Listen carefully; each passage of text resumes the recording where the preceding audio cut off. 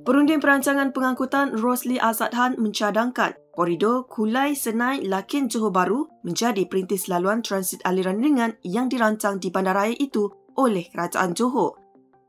Ini kerana kata Azad, kawasan terbabit mewakili kawasan permintaan tinggi yang harus menjadi keutamaan untuk melancarkan trafik yang bukan hanya membabitkan kenderaan tempatan malah dari Singapura. Merujuk kos 20 bilion dinyatakan Exco Kejeraya Pengangkutan dan Infrastruktur Muhammad Fazli Muhammad Saleh bulan lalu, beliau berkata perbelanjaan LRT boleh memakan belanja tinggi dan perlu dilaksana berperingkat.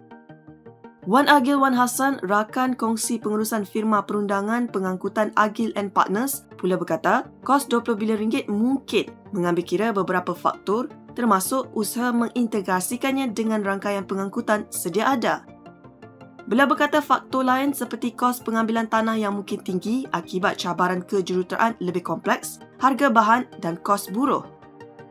Katanya perspektif perlu diperluas untuk mengambil kira proses urbanisasi berterusan bandar, pertumbuhan penduduk dan pembangunan ekonomi biarpun petunjuk semasa mungkin menunjukkan permintaan pengguna yang sederhana.